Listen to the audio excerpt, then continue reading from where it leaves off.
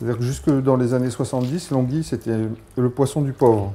C'est-à-dire qu'on fumait l'anguille, et c'était un peu comme le, hareng fumé. euh, c'était euh, pas très cher, et on mangeait ça avec une patate à l'eau euh, dans, les familles de la région.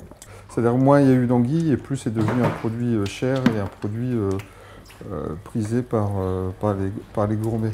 C'est un plat qu'apprécient les, grands chefs parisiens, par exemple.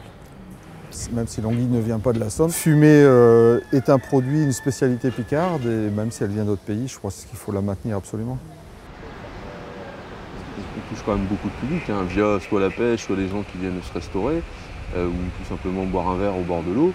Euh, L'intérêt, c'est que, bah, en fait, on a une vitrine au sens propre et au sens figuré, justement, pour commercialiser bah, la production de Denis.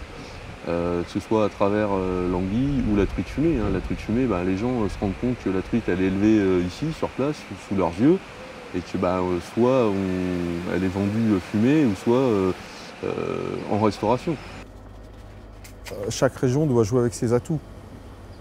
Nous, notre atout principal, c'est la vallée, c'est le paysage, et c'est comme ça qu'on peut développer. Faire en sorte que la Somme devienne un peu euh, le paradis du pêcheur pour, euh, pour la population de pêcheurs qui se situe dans tout le nord de la France.